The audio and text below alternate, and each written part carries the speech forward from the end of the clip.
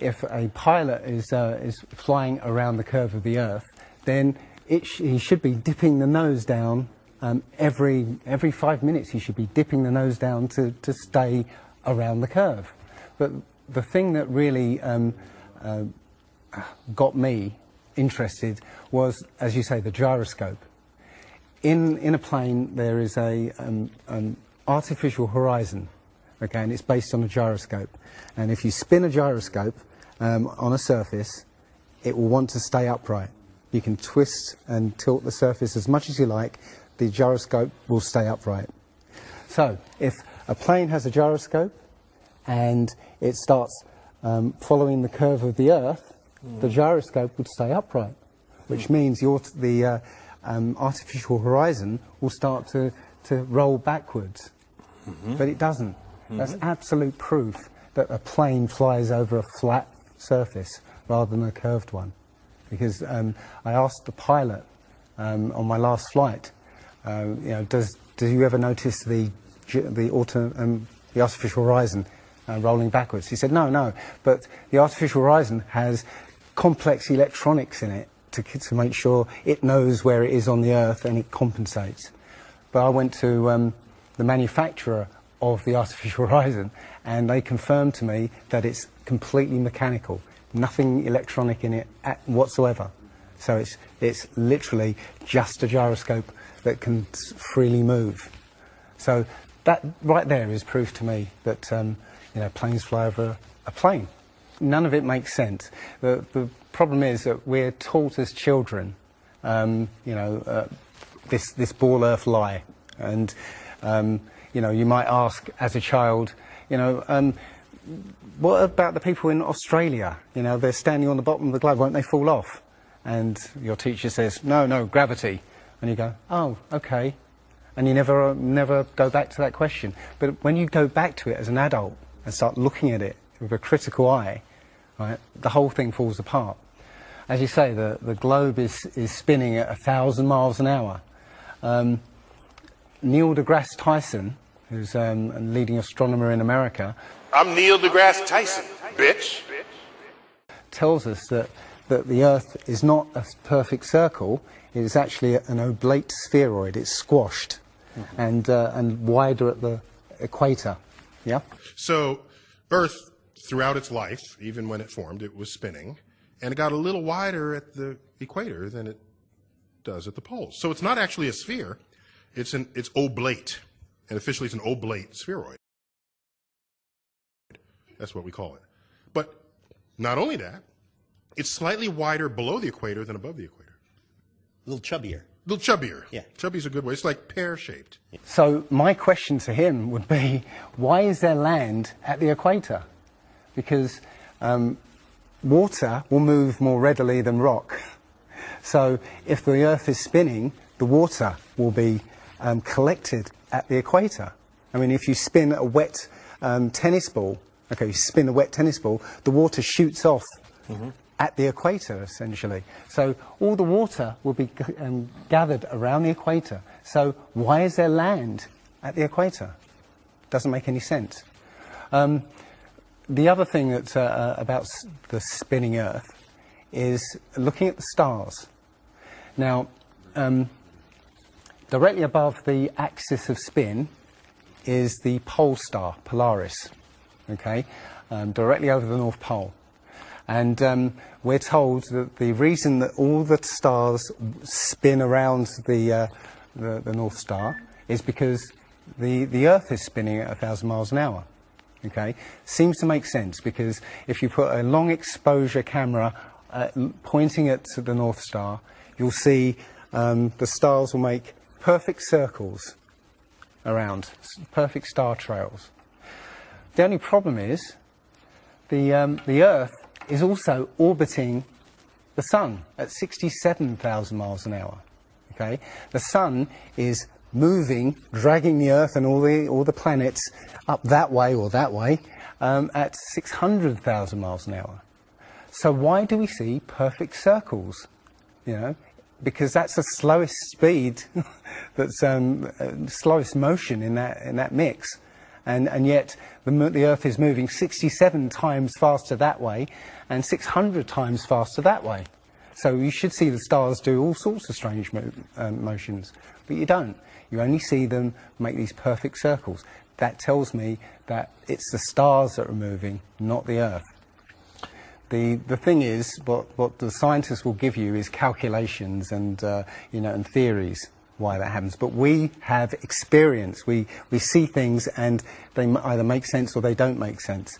And what the, the scientists do is substitute our, our common sense and our intuition for calculations and theory. And we're supposed to believe the calculations rather than what we experience uh, ourselves. Um, there was a famous experiment back in the 1800s in England uh, called the Bedford Levels experiment. Now, the Bedford Levels is a, a canal that uh, is perfectly straight for six miles. Okay, so what um, a chap called Samuel Rowbotham did was he took a telescope, put it in the water about eight inches above the water, and he had a friend, yeah, um, had a friend in a rowboat with a flag on the back, row all the way to the other end, and he was able to see the uh, the flag on the back of the rowboat the whole distance. Now, according to spherical um, trigonometry, um, the curve of the Earth is eight inches per mile squared. So um, over five miles, um, that's um, five times five, 25, um, times eight, which is 200, which is works out, that's 200 inches, which works out at 16 feet. That means the boat should have been 16 feet below the horizon. He shouldn't have been able to see the boat. Now, um, you know, the scientists will say, oh, refraction and this and light bending around the Earth and stuff. Um, but, but the fact is, you know, it was, it's perfectly flat. And, and he, he, in his book, he's, uh, he, he puts forward many, many arguments that show that, or many, many experiments that show the Earth is always perfectly flat. They say they, that you see the, uh, the mast, you know, go, down last. It's, it's literally just the way your, your vision works. Yeah, it's perspective and, and atmospherics, basically. Um, the, you, the limit of your vision is supposedly three miles. And then after three miles, you're supposed to see the, the boat start to uh, go over the horizon. It's funny that Neil deGrasse Tyson again says that, um, explains that you can't see uh, the curvature of the Earth from a plane. He says this. You can't see the curvature of the Earth from a plane because you're not high enough. The Earth is so big that um, you can't get high enough to see the curvature. Yet, you can apparently see a boat go over the curvature over the, over the distance of three miles, which doesn't make sense. The thing is, when you, when you um, look out and you see a boat start to go over the horizon, if you suddenly get a pair of binoculars and look, it comes back again.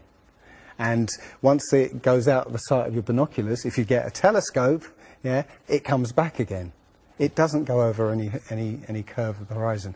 What we found, um, many people have done experiments with uh, very high powered zoom um, cameras, and they, they've watched a boat go sail out to sea, and they've just kept trained on this, on this boat. And what they see is, after a, a very long distance, you see an atmospheric effect where um, the bottom of the boat disappears and starts, and, and the top of the boat inverts, so you see a sort of mirror image. And that, um, with your eyesight, you know, you, basically the bottom of the boat just melts into the, uh, into the horizon. One of the best examples of that is the um, Antwerp Notre Dame, Notre Dame spire, which can be seen something like 240 kilometres away from, uh, you know, from the spire. So um, that should be over a mile below the horizon, and you can still see it. Um, there's been a few famous examples uh, just recently of uh, a man who took a picture across the Great Lakes from Michigan and was able to see, I believe it's Chicago, um, which he shouldn't have been able to see. And the uh, yeah, and the news, uh, the television um, station basically said it was a mirage. This is from Joshua Nowicki, and what you're seeing here is a mirage. We typically would not be able to see this from the Lake Michigan shore. We talked about this last night. Conditions are right on the lake that we're actually seeing a mirage of the Chicago skyline. Um, but they always say it's a mirage, but um, for a mirage to happen, you have to have very specific atmospheric um, conditions. And there have been so many people who have seen exactly the same thing on different days, different seasons, um, always the same. Um, you know, it's not a mirage. It's simply that you, you know, you're, you're looking across a plane.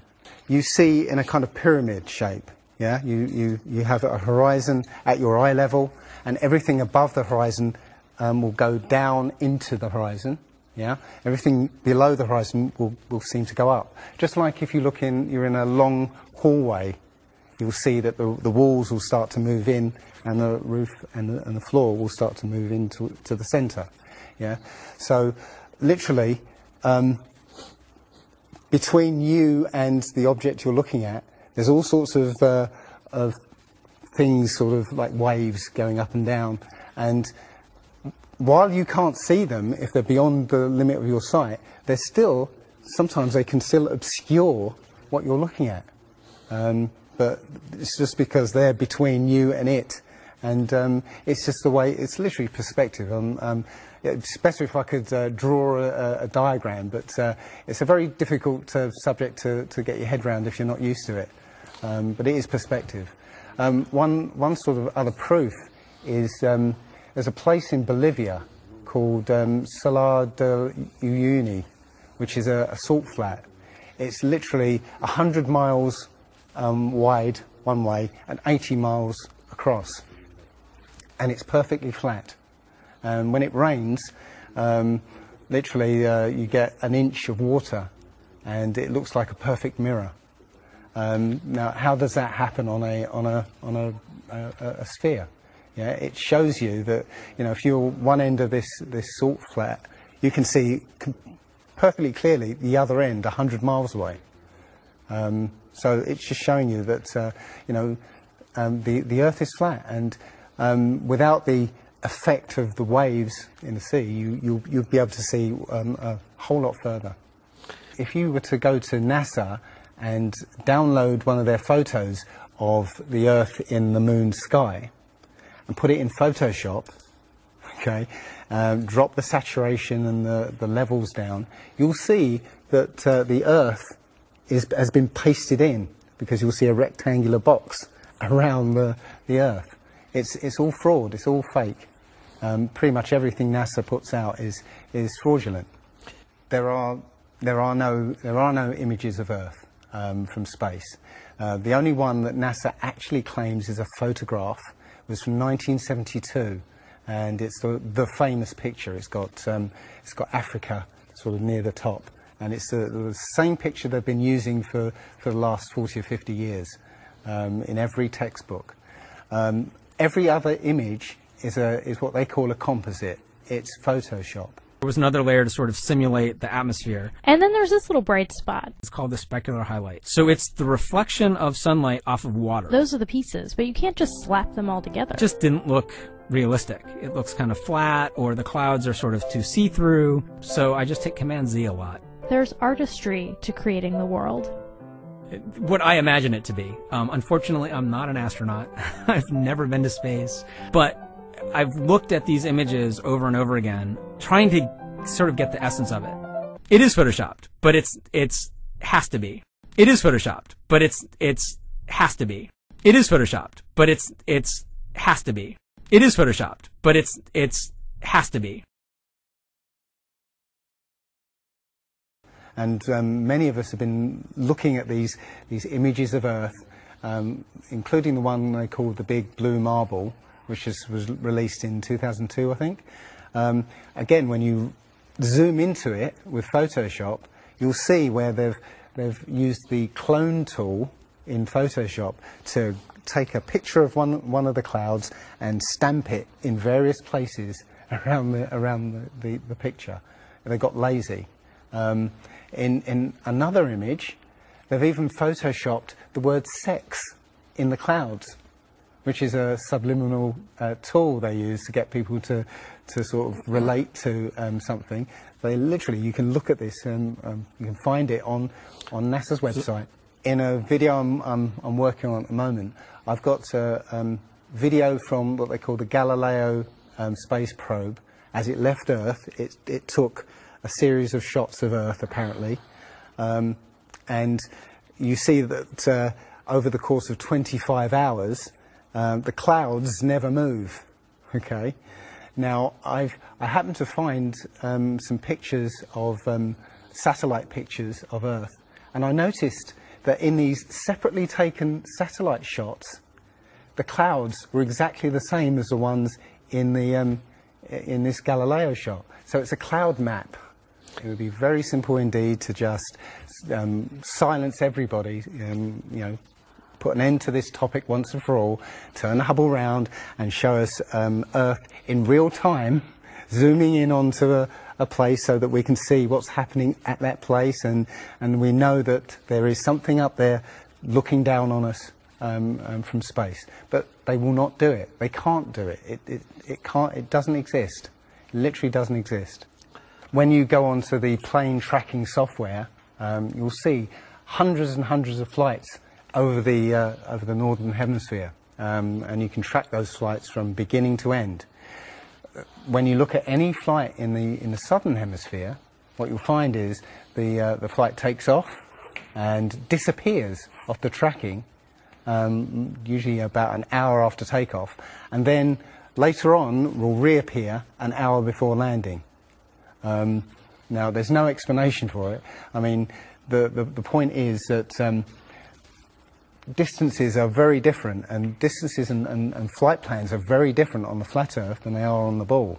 Um, and when you look at flights in the southern hemisphere, they they make some really crazy, um, you know, sort of deviations.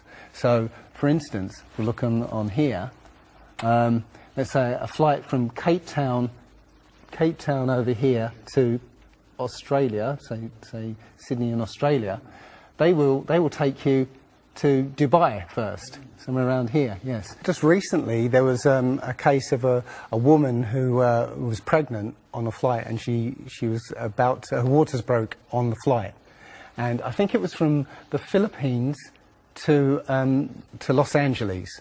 Mm-hmm. And um, again, if you look, uh, if you look on this, this map, you're uh, from around here somewhere to, to here, okay?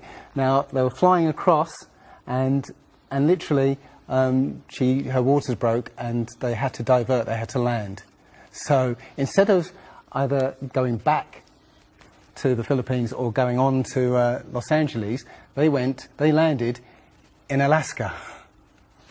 Which again, if you look on the, uh, on the flat map, it's again a, a, straight path. Santiago, Chile to, to uh, uh, Australia, mm-hmm. Right, will, will usually stop in Los Angeles. Again, you can see on the flat map that it's, again, a straight path. It all seems to make sense, and, uh, and if um, the only thing that would, uh, would sort of confirm it or disprove it would be GPS. But, you know, hey ho, GPS doesn't work in the, south, um, in the south, southern hemisphere. This is, a, this is a, um, an issue because um, there, there, have been a few people who said they've taken flights that have taken only 14 hours and they've, um, they're direct flights from Australia to, um, to South America. Um, now, somebody has actually um, redrawn the flat map to take, in, take into account these, uh, you know, the, the distances. And apparently the distances work out. I haven't seen the map myself, um, uh, but uh, know, I'm, I should be looking further into it. But um, yes, uh, up until up until these people came forward, and again, I I haven't seen any real evidence that they have taken these flights. They they told me they've taken these flights, but um, who can who knows? They can they can actually um, advertise a flight that's uh, direct. You know, they can price it out of the range of uh, most people to, to take. And then if anybody does um, take it, they could cancel it. I, I, don't think any flights actually fly directly over the, south, the North Pole at all. I think they, they skirt the North Pole, mm-hmm. but um, I don't think they fly directly over the, the actual pole. So mm. I don't know if it's uh, to do with magnetics. The only thing I do know is that nothing flies um, over the South Pole, um, because again, on a flat map, the, the South Pole, the, uh, uh, continent of Antarctica is the ring around the Earth. So you know you can't fly over the over the ring um, and uh, and get anywhere. That's why we're not allowed to go there. I mean, think about it. It's the only treaty that's that's uh, you know uh, all these countries have signed and never broken and uh, completely agreed on. It's the only one. And, you know what what treaty is there that everybody's agreed on? Um, we're, we're being kept away from it for a reason. You know, they have some scientific bases there, yeah, and, and literally it's controlled by the military. If you try and, uh, and go there by yourself, you will be uh, um, sort of picked up and uh, escorted back. Uh, there was a guy called Jarls Anderhoy who tried to, uh, to take a mission to, to the Antarctica, and he was, he was picked up and, uh, and taken back by the military. Um, it's a good reason because they don't want you finding out what's what's beyond. Admiral Byrd actually he actually Admiral. did four four um, expeditions. And, um, and most of them were military expeditions with huge military groups, um, you know, uh, thousands of people, you know, planes, boats, the, the works. Um, and, and yes, he confirms in an in an interview that he discovered uh, a land, a continent as big as the continental United States out there that was um, with, with warm water lakes and, and mountains and everything uh, that was completely uninhabited. And he, said, and he described it as the other side of the South Pole to Middle America. So um, on, the, on the globe, that means it would be somewhere in the Indian, Indian Ocean. There's a huge continent that nobody knows about. So, um, so yeah, there's, um, there's more going on than meets the eye. The other thing is, after Admiral Byrd came back after his last um, expedition, um, Antarctica was sealed off, and both America and um, you the, the, the Russians started firing nuclear missiles straight up. Um, now, in America, that was, that was called uh, uh, Project Operation Fishbowl, and it came under something called Project Dominic.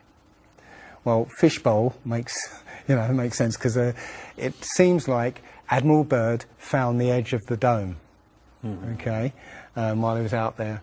And as soon as he left there, they started firing missiles straight up, I believe, to try and test how far that, that dome went.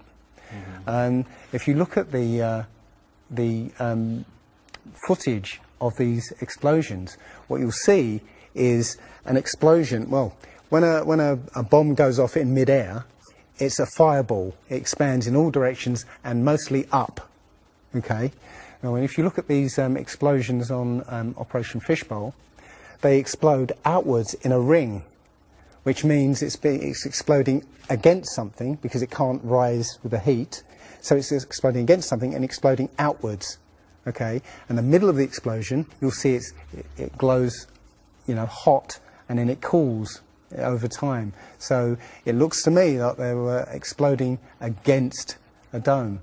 Now, I said it was um, Operation Fishbowl, obviously Fishbowl, but the, um, uh, there's a chap called Rob Skiba who discovered that the Project Dominic, the word Dominic means of the Lord, fishbowl of the Lord.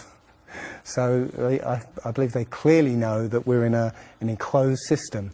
And um, Admiral Byrd found the edge and they've, they've tested to see um, how far it goes up. They will also say that if a sniper is, um, you know, is trying to hit something a, a great distance, a couple of miles away, um, they have to take into consideration the spinning of the Earth because they say that as the bullet leaves the muzzle of the gun, is now um, independent of the rotation of the Earth. So, you know, the Earth will spin away from where the bullet, and you have to take it, that into account. They say that about artillery shells as well, that it's not true. Um, if, if that was true, um, s- a sniper would have to spend ages and ages calculating how to, to, to make that shot. And they don't. They literally take into consideration the wind and, um, and you know, the, the elevation, and they don't take um, the Coriolis effect into, into consideration at all. Um, also, planes. If, if that works for, for bullets, if bullets, as soon as they leave the Earth, they're now independent of the spin, then why doesn't it work for planes? Yeah, um, there's a, a video on YouTube that actually tries to explain um, that uh, the Coriolis effect works by using the, the um, example of a paper plane. You have to throw it. If you throw it north, the uh, the, the Earth will spin and the, the plane will land sort of uh, you know east. Um, but if you take the idea of a real plane, you know, a plane would have to aim north to go east in that case. But it, that's not what happens. And uh, if that was the case as well, um, planes would have to land on runways that are moving. And that would be impossible. But how is it that you can take a flight from London to, to New York and it will take exactly the same time as a flight from New York to London? Yeah, um, one's with the spin of the planet and the other one's against it. So it does again doesn't make sense. Um, they'll say that uh, the whole atmosphere is moving, yeah, um, with the with the planet, but that doesn't make sense either, because um, you know the atmosphere, say it's it's that thick, the top layer of the atmosphere will be moving slow, and uh, the as far, further you get in, will be moving faster. Um, so you know, how if everything is moving like that, how do you get a, a, a light breeze that uh, that go that blows against the spin of the planet? You know, um, how do you get a, a breeze that goes from north to south? It just doesn't make sense. Um, and again, science will give you calculations and and uh, you know esoteric ideas, but uh, you know you can go out and look for yourself, and uh, and you'll see you know you'll see what makes sense and what doesn't. The, the